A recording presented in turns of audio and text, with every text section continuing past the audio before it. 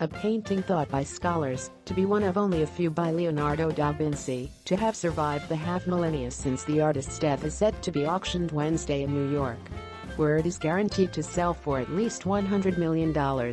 Art lovers have lined up by the thousands at special pre-sale exhibitions in Hong Kong, San Francisco, London and New York to see the only work by the Renaissance master in private hands.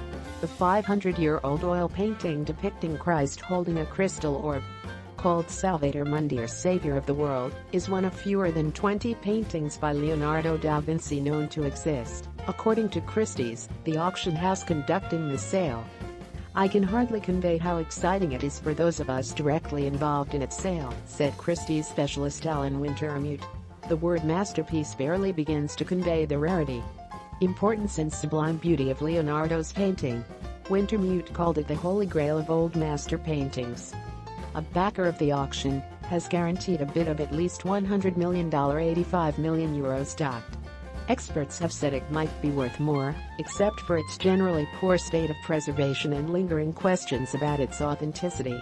The 26-inch 66cm painting dates from around 1500 and shows Christ dressed in Renaissance-style robes his right hand raised in blessing as his left hand holds a crystal sphere.